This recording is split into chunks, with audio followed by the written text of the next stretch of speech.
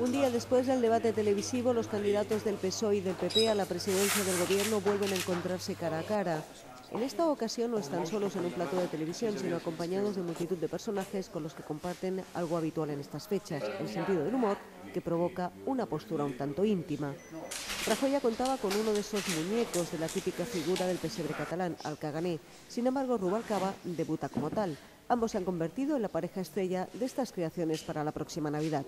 Este tipo de figura representa a un pastor que aparecía defecando en un rincón del pesebre y al que se asocia con la fortuna por abonar la tierra. Junto a Rubalcaba este año destaca la novia de Piqué, la cantante Shakira y una cuarentena más de figuras nuevas, como los duques de Cambridge, Guillermo y Catalina o el alcalde de Barcelona, Xavier Trías. No cabe duda, fútbol, política y espectáculos entre los ámbitos más destacados de estas traviesas creaciones navideñas.